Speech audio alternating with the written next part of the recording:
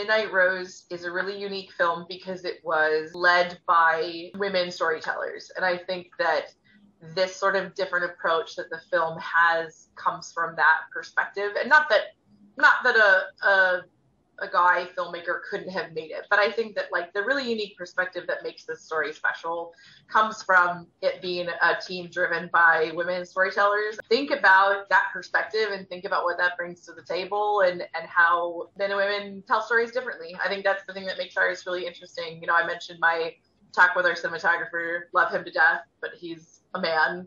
And he was like, oh, you end with the action, you end with the punch. And we did end with the punch. We just ended with the emotional punch.